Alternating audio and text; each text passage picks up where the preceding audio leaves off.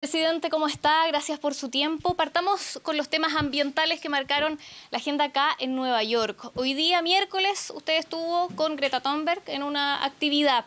Ella y otras voces del medio ambiente han llamado a luchar, pero de manera urgente, contra el cambio climático. Nuestro plan de descarbonización apunta de aquí al 2050. ¿Es posible acelerar este plan? Chile fue de los primeros países en el mundo que se comprometió a ser carbono neutral. ¿Qué significa eso? Ser un país con emisiones de carbono netas cero. Lo hicimos en Osaka, en la cumbre del G20. ¿Podemos acelerarlo antes del 2050? Porque va a ser antes, va a ser, le aseguro que va a ser antes que el 2050. ¿Cuándo, presidente? La meta que nos hemos fijado es hacerlo en un plazo de 20 años. Y no nos hemos demorado mucho. Usted también esta semana pidió perdón, disculpas a las zonas de sacrificio que han sido afectadas por la contaminación, en algunos casos por las termoeléctricas. Yo no quiero ninguna zona de sacrificio, ni en mi país, ni en ninguna parte del mundo. Por eso ya está en marcha, como nos comprometimos, un plan de descontaminación de la zona de Puchuncaví y Quinteros. Hemos fortalecido todo el sistema de salud. Tenemos un sistema de monitoreo que nos permite llevar en, en, línea y con control del Estado y no de las propias empresas lo que está pasando. Y además, el plan de descontaminación contempla algo que nunca existió, que es una reacción rápida y eficaz cuando se produzcan emergencias para que nunca más tengamos las intoxicaciones que conocimos hace un tiempo atrás.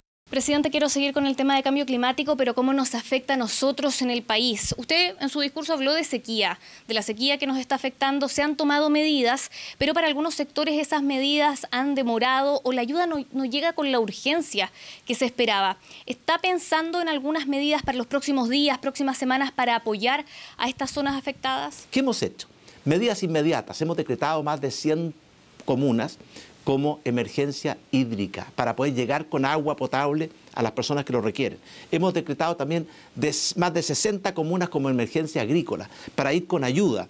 Pero quiero decir algo. Y dinero, presidente, porque muchos dicen que el dinero, por ejemplo, que se ha inyectado dura hasta cierto tiempo, que ya se va a acabar, que se necesitan más recursos. Por supuesto. Para los próximos días, presidente, para las próximas semanas, ¿hay medidas que vienen Pero en por torno a supuesto este que tema? sí. Por de pronto vamos a ampliar la declaración de emergencia hídrica que nos permite llegar con cualquier mecanismo, con camiones aljibes, con agua potable rural para abastecer de agua a la población chilena. Hoy día más de 400.000 chilenos reciben agua a través de camiones aljibes. Estamos aumentando enormemente la inversión en el agua potable rural. Estamos también, como yo le decía, ayudando a los agricultores, que es el sector más afectado por esta sequía, sobre todo los pequeños y medianos campesinos. Estamos avanzando a la máxima velocidad que lo permite. Pero quiero decir algo. Los mismos que critican hoy día nunca levantaron su voz cuando durante mucho tiempo no se hizo lo suficiente para enfrentar este problema de la sequía. ¿Y a quién se refiere, presidente? Me refiero eso? a algunos críticos, cierto, que son buenos para criticar, ¿Es la Sociedad pero- Nacional de Agricultura? pero que nunca, pero que nunca aportan con soluciones. Al que ¿Es le el caiga empresariado, sayo, presidente? Al que le caiga el sayo, que se lo ponga.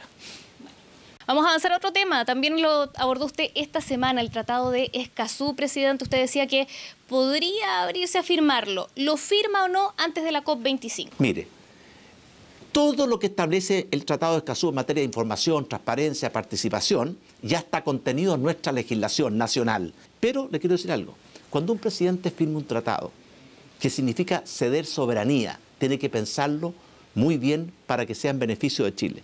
Nosotros tenemos observaciones que las hemos hecho fuerte y clara, de que ese tratado puede significar que países o grupos puedan usar ese tratado para llevar a Chile ante cortes internacionales. Y por tanto, cuando un presidente firma un tratado, tiene que estar convencido.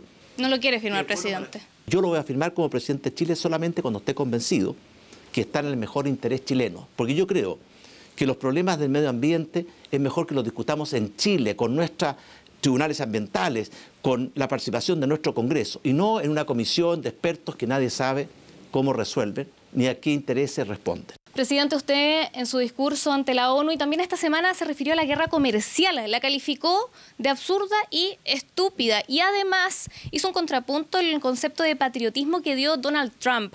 ¿Esto podría afectar de alguna manera lo que va a pasar en el mes de noviembre con la realización de la PEC?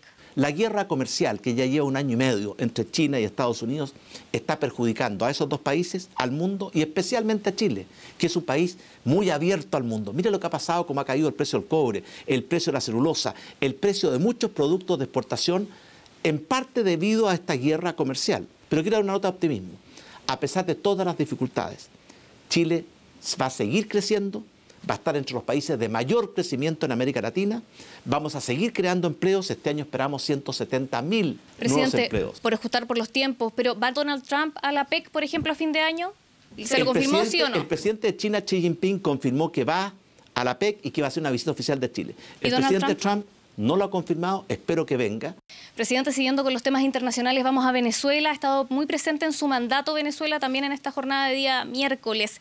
Usted señalaba que hace meses atrás que Maduro le quedaba poco tiempo, eso no ha pasado. Algunos dicen que Juan Guaidó ha debilitado su, su mandato. ¿Ha fracasado la política internacional respecto a Venezuela, respecto a lo que hay que hacer para resolver lo que ocurre en Venezuela? Bueno, ha tomado más tiempo que todos quisiéramos. Mire, el régimen venezolano es una dictadura corrupta, incompetente, que no respeta los derechos humanos, que tiene claros lazos con el narcotráfico y con el terrorismo y por tanto tiene que terminar. Usted decía hacer lo imposible hoy día en una declaración. Eh, ¿Qué es lo imposible? ¿Incluye medidas de fuerza? ¿No es eso intervencionismo, presidente? La posición de Chile fue fuerte y clara. Vamos a hacer todo lo que esté a nuestro alcance, pero lo vamos a hacer con medios pacíficos. Y me alegro mucho que la posición chilena predominó en el acuerdo que tomamos hoy día los países que nos reunimos en torno al TIAR, que acordaron medidas para aumentar las sanciones contra los jerarcas del régimen o dictadura venezolana, congelando sus activos, impidiendo sus movimientos,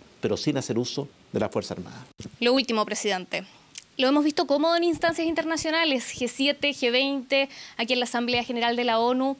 Cuando termine su mandato, ¿usted se proyecta en algún cargo internacional, sí o no? No, y quiero decirle algo, no. Pero además me alegra como chileno que la voz de Chile esté siendo reconocida, respetada, considerada. No es casualidad que Chile hoy día presida Prosur, presida la Alianza del Pacífico, sea sede de la Asamblea o Cumbre de la PEC y de la COP, que hayamos sido invitados al G20 en Buenos Aires y también en Osaka, que hayamos sido invitados a la reunión del G7, las siete potencias más desarrolladas del mundo. Y por tanto, todo lo que hacemos aquí lo hacemos pensando en la calidad de vida, el bienestar de todos los chilenos. Bien, descartado entonces un cargo internacional. Muchas gracias, presidente Sebastián Piñera.